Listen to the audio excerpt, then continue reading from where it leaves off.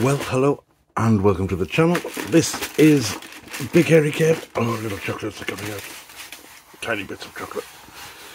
This is Big Hairy Kev with uh, another day of advent calendars. I think I'm going to take the front off that one.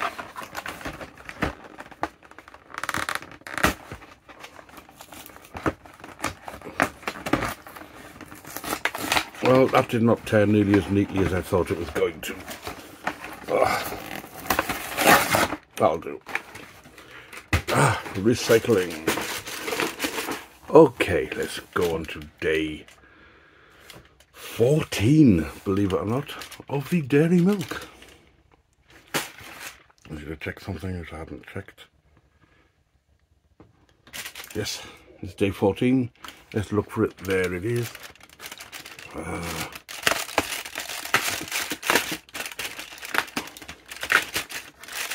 it's a bow tie. Oh, bow ties are cool.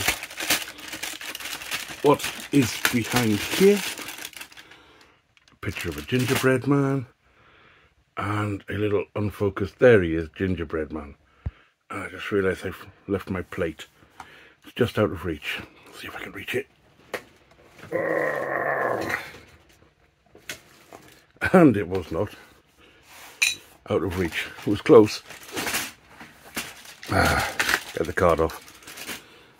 And the Galaxy, I'm sorry if I sound really tired, but I am actually really super tired. I'm just not getting the sleep. So I just try not to sound dull. A spinning top, a dreidel, and what is behind here?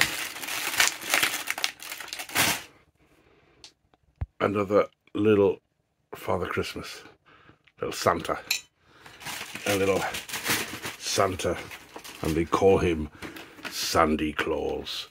Now, the Kinder date. Did I open the right day on that last one? I haven't even checked. Yes, 14. Just checking the card. Nothing behind there.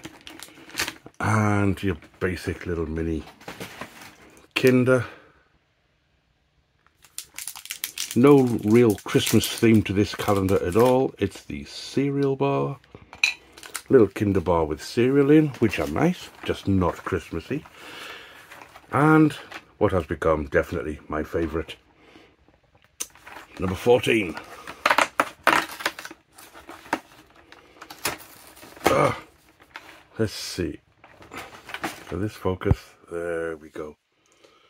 I saw a great offer on cheese in the supermarket today.